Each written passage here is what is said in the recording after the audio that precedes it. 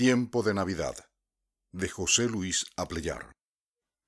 Es Navidad un tiempo, una manera de festejar la vida del verano, una forma de hacer obligatorio el mensaje de paz en un regalo, un tiempo de realzar con fantasías la mentira sutil de todo un año, de jugar al pesebre mientras muere el soplo de verdad que hay en los labios.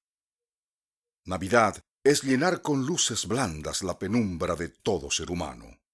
Es ornar de oropeles los ramajes de un árbol nunca nuestro y siempre extraño. Navidad es la historia repetida que de tanto saberla la ignoramos, que nos cuenta de un Dios cuya memoria es un perfil de barro sobre el patio. Navidad es una infancia muerta entre flores de coco y de quebranto, y es un poco de pan que ha sido dulce, porque supo llorar el Padre un año.